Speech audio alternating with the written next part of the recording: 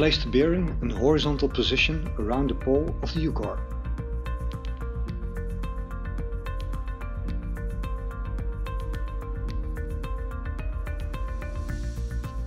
Close the pivoting yoke. Always use the largest yoke when heating the part horizontal. Start the heating cycle in one sensor temperature mode, applying 100% power.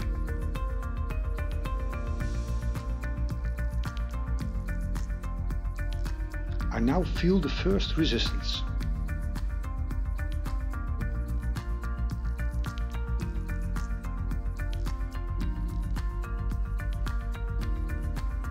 The resistance is now increasing by the second.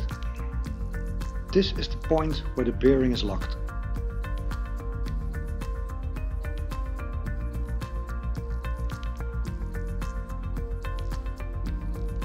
Until the temperature has equalized sufficiently, the balls are no longer pressed into the rings.